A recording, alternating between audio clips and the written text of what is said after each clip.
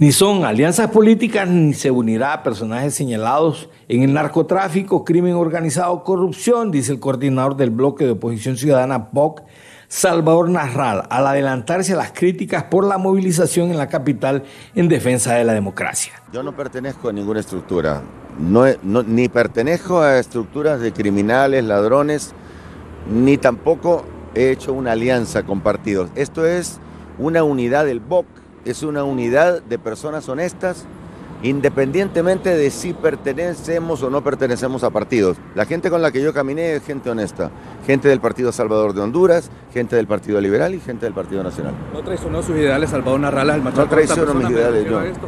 no. financiero de las sedes, otras personas que saquearon diferentes instituciones del Estado. No traiciono yo mis ideales, soy una persona decente, soy una persona honrada, la gente sabe y por lo tanto... Eh, en Honduras, que la mayor parte piensa que cualquiera que se mete a política tiene que ser ladrón, como los que están metidos, a esos ladrones que están metidos hay que sacarlos.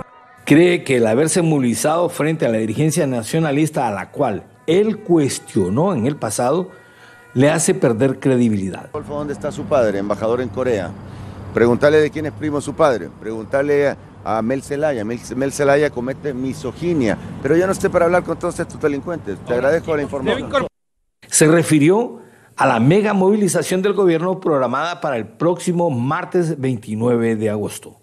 Eh, injerencia del Poder Ejecutivo, que es Xiomara Castro, al ordenar al pueblo que vaya a meterse al Congreso, que es otro poder del Estado. Eso es una violación a los derechos humanos y una violación a un Estado constitucional. Gracias. Iba tan precisado Narrala que en otras ocasiones le agrada conversar con la prensa pero salió despavorido, como que no le gustaron mucho las preguntas. Qué pena.